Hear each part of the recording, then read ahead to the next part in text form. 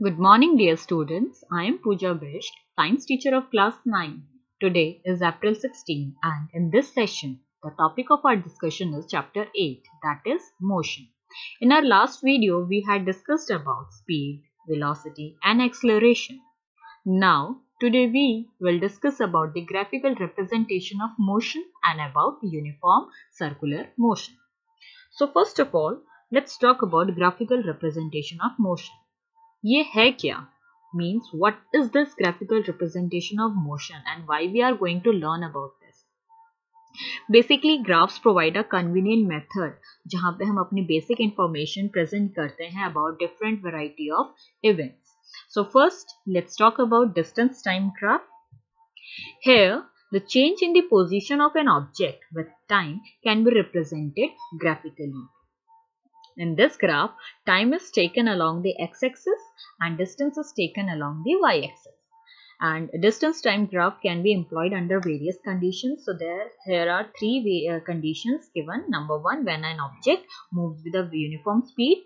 Second, जहाँ पे object एक non-uniform speed से move कर रहा है. And the third is the stationary object. Means where an object is remain at its resting position. वहाँ जहाँ वो object move नहीं कर रहा but time period keeps on going right student so in case of uniform speed जहां हमें जो distance time graph है it gives a straight line between distance and time that shows uh, the an object is moving with a uniform speed whereas in case of non-uniform speed a curved line is shown here which indicates that that time, distance and time is not in equal proportion and in stationary object straight line parallel to x-axis जहाँ पे times time तो increase होता जा रहा है but distance वही same है right students so now let's talk about velocity time graph in this the variation in velocity with time for an object moving in a straight line can be represented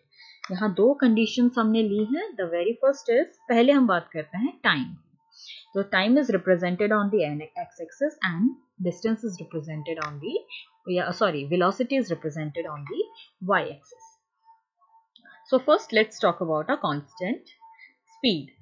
If the object moves at uniform velocity means अगर उसकी speed constant है means forty five kilometre per hour की speed से ही वो move कर रहा है फ़र्स्ट आर में 45 किलोमीटर मूव किया then second hour again 45 five then third hour again 45 five means it is moving with a same or constant velocity और speed then it will gives a straight line parallel to x axis and where an object moving with a uniform acceleration. The nature of the graph shows that velocity changes by equal amount in equal interval of time and this graph represented by a straight line.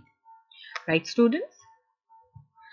So now as we all know the motion of an object moving at a uniform acceleration can be described with the help of three, these three equations. ये equations बहुत important है इस chapter में and the these three equation shows the relationship between distance time speed and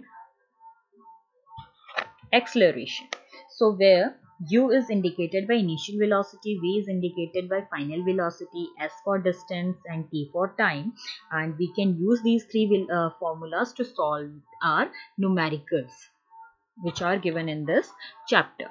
So let's take an, an example where a train starting from rest attains a velocity of 72 km per hour in 5 minutes. The train was at resting position and it attains 72 km per hour in 5 minutes. Assuming that the acceleration is uniform. जहाँ हम assume करें जो acceleration है वो uniform है. So अब हमें क्या find out करना है?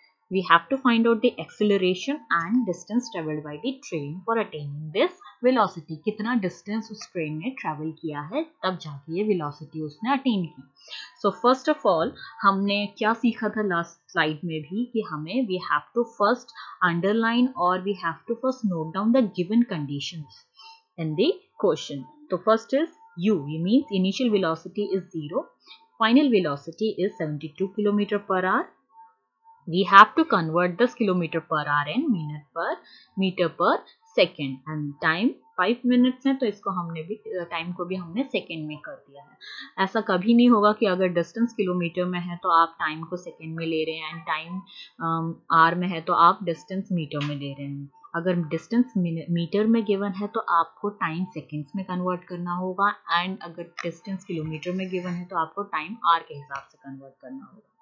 So for to calculate acceleration we will put this formula a equals to v minus u by t which is the formula of acceleration we will put the values and get the answer and in second case to uh, calculate the distance traveled by the train we have to use that formula where initial velocity, final velocity and acceleration is given. Right students तो इसमें हम हम जो हमारे first part में हमने acceleration calculate किया था, वो यूज़ कर सकते हैं।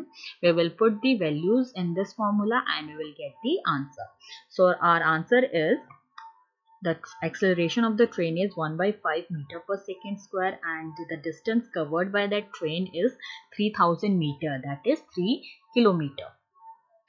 Understood I hope आप लोगों को ये न्यूमेरिकल अच्छे से समझ आ गया होगा। So now students let's talk about uniform circular motion. What is uniform circular motion? Circular, आपको समझ में आ ही रहा होगा in a circular path and uniform means constant for example हमारी जो अर्थ रिवॉल्व करती है around the sun that is again a uniform motion 24 365 days में वो एक कंप्लीट रेवोल्यूशन कंप्लीट करती हैं. सिमिलरली हमारी जो अर्थ अपने एक्सिस पे रोटेट करते हैं 24 hours so first of all let's talk about the definition of uniform motion uniform circular motion is the motion of an object travelling at a constant means uniform speed on a circular path same speed से किसी circular path में बार बार बार बार rotate होना या move होना that is called as uniform circular motion and इसके इसको calculate करने के लिए भी हमारे पास एक फॉर्मूला है that is we have taken time period T as a T and आपको पता ही है circular circular means we have to take T means in T time period distance means हमने क्या ट्रेवल किया? The circumference of that circular path तो circumference का formula is two pi r and divided by new The time period is the time period to travel once around the circle that is to make one complete revolution. So time period t equals to 2 pi r by nu. Nu is the velocity. V is stands for the velocity. Right students? So now we have taken an another example to understand more clearly about uniform circular motion. In an artificial satellite, आपको पता है satellites अगर जो हमारे अर्थ के चारों तरफ़ घूमती है वो किस मोशन में घूमती है ना circular motion. So in a moving satellite, radius is 46 kilometer and it uh, we have to calculate its linear velocity means हमें इसमें linear velocity calculate करना है. So we will use that formula First, we will write down about the given conditions. Radius is 42 kilometer for 42 42,600 kilometer. Time period is 24 hour. Means अगर distance kilometer पे है तो time हम 20 hour में ले सकते हैं. So formula is V yani velocity is equals to 2 pi r divided by time.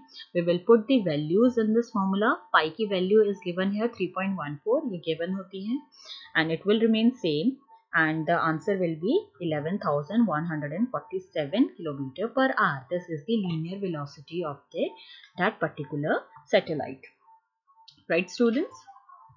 So students, you can use this website reference uh, for reference and you can also refer the same for answering the questions that I have provided you and also solve the numericals which are given in your NCRT book as well. Right?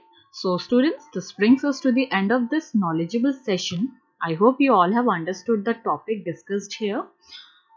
So अब हम दोबारा मिलेंगे with our discussion session. Till then, stay tuned and take care of your good health. Thank you.